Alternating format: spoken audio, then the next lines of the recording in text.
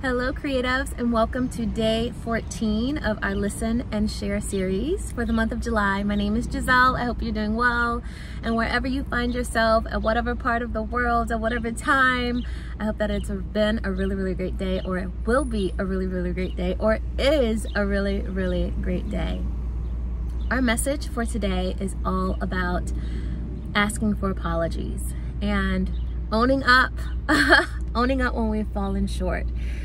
The interesting thing about this is it's not necessarily asking someone else for an apology, someone that we've done wrong or we've behaved in a way that wasn't to our highest reflection.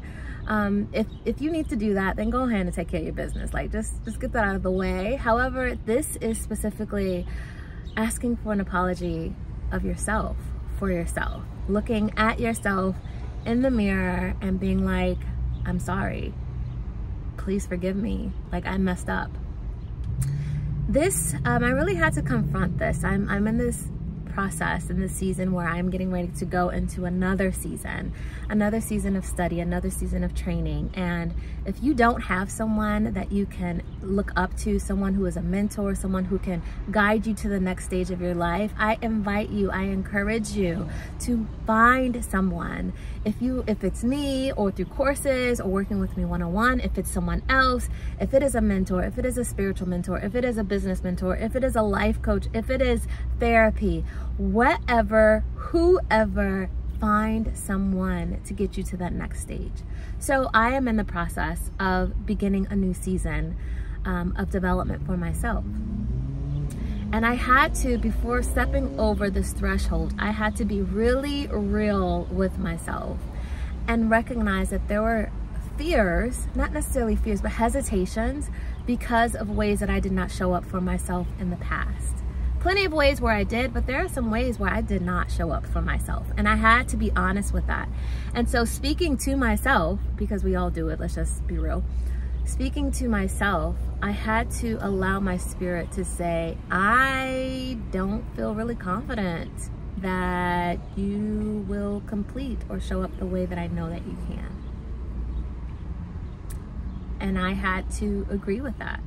I had to be real with myself and look at the ways that I either said, okay, I'm gonna do this and then didn't do it, or I'm gonna do this and then only showed up halfway, partial way, or I'm gonna do this and then allowed external factors to diminish my joy, diminish my confidence, diminish my energy moving forward.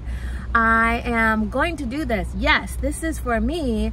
And then when it started to get difficult or when there were mind gremlins, as I say often, or there were people who didn't respond in the way that I wanted them to, then I took that as a sign that there was something wrong with me, that I wasn't good for this, maybe I'm in the wrong place completely.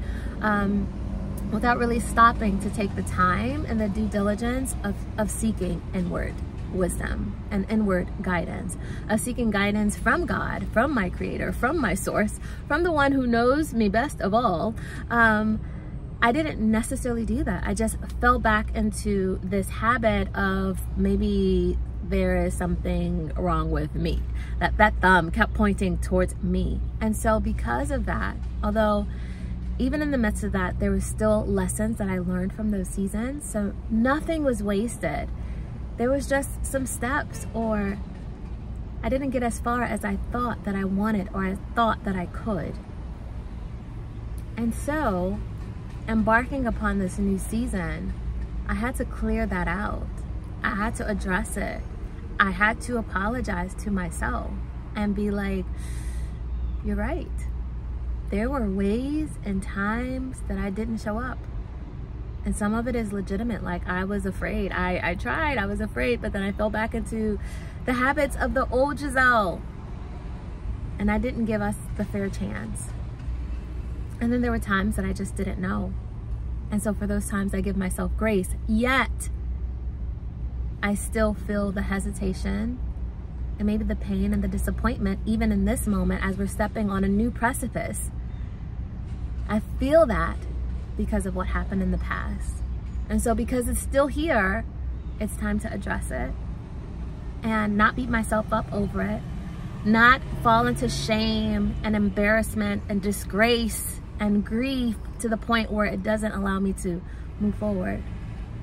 But it's time to sit, acknowledge it, own it, and ask for forgiveness for myself, from myself. So I don't know if this is ringing true for you, but as a being, as, as someone who is dedicated to growing and getting stronger and getting going to a higher level and a higher level and a higher level, not just for ourselves, but maybe for our families, maybe for our communities, maybe for those that we're here and meant to, to serve and to share and to bless. Because we're all connected, we are all one. So what impacts us has ripple effects. It's like when you take a pebble, no matter how big or how small, you throw that pebble into an ocean, a lake of water. There are ripple effects. Whether you can see them with your natural eye, whether you can hear them with your natural ear or not, there are always ripple effects. So wherever you find yourself as a creative, love, you can be the greatest creative in the world. But if there are things blocking you from taking the next step on your journey, all of that creation will be not. Someone said, and I'm, I'm totally paraphrasing, and I don't know who originally said this, but the richest place on the earth is the graveyard. All of those ideas, all of those solutions to problems that we're facing, we are brilliant beings. But if we don't get it out, if we don't share it, if we don't apologize to ourselves for the times when we are afraid, for the times when we when we don't go as far as we said we would, or maybe even for the times when we've set this goal so much bigger than reality. like we just, the goal was just way too big. And now you're upset and now you're angry with yourself and now you are holding yourself back because that goal was just way too big. Man, I've done that. Sheesh, I've done that. And now I got to clean that up because I'm taking it as I am not good enough. I have not kept my word when in reality, it was just way too big. It was unrealistic. So I encourage you today, consider are there areas in my life where I desire to go to the next stage? It is time to go to the next stage, but perhaps there is some hesitation. Perhaps there's some stuff that I need to clean up. Perhaps there are places where I need to apologize to myself, either for making that goal way too darn big, setting myself up to fail, falling into fear, falling into past habits, being so focused on the voices around me instead of the voice within me. Sheesh. If that's the case, take a moment. Find a mirror somewhere. Get your camera. Look at yourself in the eyes. And apologize. It's time it's time to move forward. So it's time to clean some stuff up. If this resonated with you, give me a thumbs up, give me a heart, give me some emoji in the comments below. Share this, like it, subscribe, and, and join us. Until next time, hmm, I'll see you tomorrow. Bye.